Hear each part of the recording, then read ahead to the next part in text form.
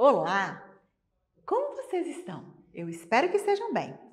Hoje, em nossa aula de ciências, nós vamos aprender um pouco dos circuitos elétricos e da energia elétrica. Vamos lá? Vamos pensar em como tudo isso é, acontece? Vamos pensar um pouquinho. Vamos lá, o circuito elétrico é uma ligação de elementos com geradores, receptadores, resistores, capacitores, interruptores. Nossa, quanto nome diferente, né? Mas um, os interruptores, sim, são aqueles que são usados em nossas casas para acendermos e apagarmos as luzes. São feitos por meio de fios condutores, formar, formando um caminho fechado que vão produzir uma corrente elétrica. Os circuitos elétricos são utilizados para ligar dispositivos elétricos e eletrônicos de acordo com suas especificações de funcionamento. Eles se referem à tensão elétrica de operação e à corrente elétrica que são suportadas pelo dispositivo. Além disso, eles são usados para distribuir a energia elétrica em residências e indústrias, conectando diversos dispositivos elétricos por meio de fios condutores, conectores e tomadas. De acordo com seus componentes básicos, um circuito elétrico pode desempenhar diversas funções. Eliminar picos de corrente elétrica que são prejudiciais para alguns aparelhos mais sensíveis.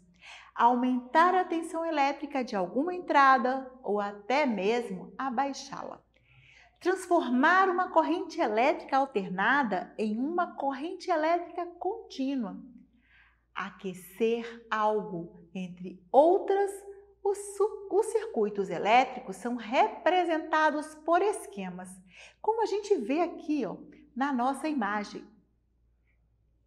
Bom, que, esses circuitos eles podem ser bastante complexos. Caso não saibamos identificar alguns de seus elementos básicos, ramos, malhas e nós, nós vamos entender um pouquinho mais como eles são, para que eles servem. Vamos lá? Os nós. Os nós são os pontos dos circuitos que ligam dois ou mais ramos. Nesses pontos, a corrente elétrica é sempre a mesma antes e depois de sua passagem por eles. Já os ramos são caminhos entre dois nós, são consecutivos. A corrente elétrica ao longo de um ramo, ela é constante. E aí nós vamos ter as malhas, que são caminhos fechados, formados pelos ramos de um circuito, no qual pode haver malha interna e externa. Olha só para vocês verem o quanto é interessante compreender. Bom, e aí? Quais são os dispositivos que são capazes de fazer essa diferenciação aí nos potenciais? Existem dispositivos capazes de manter uma diferença de potencial por um certo período de tempo. Quem são eles? São as pilhas, as baterias. Ao testar um voltímetro, uma pilha nova, nós vamos verificar a diferença de potencial elétrico entre os polos da pilha, que é de 1,5 volts. O potencial elétrico do polo positivo, ele é maior do que o do polo negativo. Ao testar uma bateria de 9 volts nova, nós vamos observar que a diferença de potencial elétrico entre os polos é de 9 volts. Pois é, o potencial elétrico do polo positivo, ele sempre vai ser maior que o do polo negativo. O voltímetro é um aparelho usado, por exemplo, no estudo da eletricidade, na manutenção de equipamentos eletrônicos. Do aparelho saem dois fios metálicos encapados com plástico isolante que vão geralmente um é vermelho e o outro é preto, com extremidades de metal rígido desencapado. O voltímetro mede uma grandeza chamada diferença de potencial elétrico, que é tem uma sigla DDT. Entre as extremidades de seus dois fios, a DDP também é denominada tensão elétrica. É medida na unidade de volt, cujo símbolo é o V. Em circuitos metálicos, a corrente elétrica é constituída de minúsculas partículas, que são denominadas elétrons que se movimentam do polo negativo para o polo positivo da pilha, da bateria ou de outro dispositivo usado para manter a diferença de um potencial. Essas minúsculas partículas não são visíveis nem nos melhores microscópios existentes. Atualmente, a sua existência foi evidenciada no final do século XIX em um experimento envolvendo eletricidade e magnetismo. Em um circuito metálico fechado, os elétrons movimentam-se espontaneamente de uma região de menor potencial elétrico para outra de maior potencial elétrico, ou seja, do negativo para o positivo. Como está esquematizado na figura de corrente elétrica que nós vimos anteriormente. Suas propriedades são um objeto de estudo na área da física, que é denominada eletrodinâmica. Viram que interessante? Quem imaginava que dentro das ciências a gente podia potencializar? E aí? O que mais a gente pode aprender sobre esse mundo da eletricidade? Para movimentar um automóvel é preciso energia, vocês sabiam? Essa energia vem da queima do combustível no motor. Para o nosso corpo se movimentar, nós também necessitamos de energia, que é obtida dos alimentos, tanto para acessar uma lâmpada como para um movimento qualquer de um aparelho elétrico ou eletrônico, é necessária energia. Essa energia está associada à passagem de corrente elétrica. E é por isso que a gente chama isso de energia elétrica. Geração de energia elétrica há dois meios principais de como isso acontece. Um deles é pelo uso de substâncias químicas apropriadas, que são armazenadas dentro de uma pilha ou bateria. Quando essas substâncias se transformam em outras, ocorre a produção da energia elétrica. Após um tempo de uso, as pilhas e as bacterias deixam de fornecer essa energia elétrica, porque essa substância inicialmente presente acaba. Quando isso ocorre, costuma-se dizer que elas se descarregaram.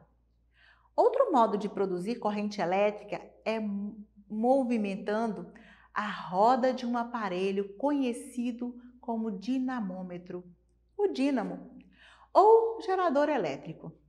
Ele é projetado para transformar em energia elétrica a energia do movimento. E quando existe essa energia do movimento, ela é chamada de energia cinética. Nas usinas hidrelétricas existem grandes barragens que represam a água de um rio. A água represada cai dentro de uma tubulação e nesse trajeto movimenta uma imensa roda que é chamada de turbina. Nesse movimento de girar a roda de um grande gerador de energia, há uma movimentação de uma queda d'água. Então é chamado de energia cinética, que é aproveitada para gerar a energia elétrica. A energia elétrica é a principal fonte de energia do mundo. Ela é produzida a partir do potencial elétrico de dois pontos de condução. E foi o filósofo grego Tales de Mileto quem descobriu por meio de um experimento de cargas elétricas. E a partir disto, a palavra eletricidade começou a ser utilizada em grande parte da energia elétrica. Essa energia elétrica ela é produzida nas usinas hidrelétricas. Porém, sua produção é também feita nas usinas eólicas, solares, termoelétricas, nucleares e existem hoje várias outras maneiras de se produzir energia. No Brasil, 90% da energia é produzida nas usinas hidrelétricas, sendo que a maior usina hidrelétrica do nosso país é a usina de Itaipu e fica localizada no Rio Paraná, nas fronteiras do Brasil e Uruguai. O sistema universal de medida da energia elétrica é o Joule. Contudo, a unidade de medida mais utilizada é o quilowatts-hora. Como podemos notar na medida de consumo elétrico que vem na nossa conta de energia. Vocês já observaram como que isso funciona? Como a energia elétrica vai chegar lá na nossa casa? Ela nasce do movimento dos geradores, passa por estações transformadoras de rede, de fios de alta tensão e percorre um longo caminho até chegar às nossas tomadas, de onde vem essa energia elétrica que chega lá na nossa casa ela é consumida ao mesmo tempo que ela é produzida? Entre uma usina e os centros urbanos ocorrem inúmeras transformações que resultam na transmissão da energia. No Brasil, essa produção que vem das hidrelétricas é usada à força da água. Depois de produzida, a energia vai para as cidades por meio das linhas e torres de transmissão de alta tensão. Elas vão viajar por centenas de quilômetros de fios. Ela sofre inúmeras alterações de voltagem. Na, nas áreas residenciais, cada circuito de cerca de 13 mil volts atende cerca de 5 mil a 10 mil casas. O percurso da eletricidade se completa quando ligamos interruptores e aparelhos eletrônicos na tomada, consumindo no mesmo momento em que é produzida. Durante o caminho, a energia está sujeita a interrupções, que podem acontecer dados a raios, tempestades, ventos fortes, quedas de árvores que podem atingir os sistemas, causando problema. A necessidade, então, de fazer uma manutenção. Ou quando acontece uma, é, uma programação de uma ampliação dessa tensão, de uma movimentação, de troca de fios, isso tudo vai fazer com que, que ocorra uma quebra nesse envio. A energia tem uma tensão variável durante a geração, a transmissão e a distribuição. Olha só como que isso acontece. Então, a energia sai da usina direto para as estações de transmissão, onde passa por uma transformação que aumenta sua voltagem e em seguida segue pelas linhas de alta tensão. Essas linhas de transmissão, ou torres de alta tensão, levam a eletricidade por uma longa distância para reduzir as perdas energéticas durante essa transmissão, ela é transportada em altíssima voltagem. Elas chegam então às subestações de distribuição. A eletricidade passa pelos transformadores de tensão nas subestações, que diminuem essa voltagem. Só então elas vão seguir pela rede de distribuição, que são as fiações dos postes, a energia passa então pelos transformadores de distribuição, que rebaixam a voltagem de novo. Depois passam pela fiação aérea ou subterrânea, que levam até as ruas. E aí vão chegar ao consumidor final, nas tomadas que estão nas nossas casas. A energia está disponível então para ser utilizada no momento em que é gerada fazendo funcionar equipamentos eletrônicos interruptores. O que podemos fazer para economizar a energia em casa? Cada vez que as pessoas estão buscando, cada vez mais as pessoas estão buscando formas de economizar energia elétrica. Conforme o levantamento no Brasil, esta nós temos né, a energia mais cara do mundo.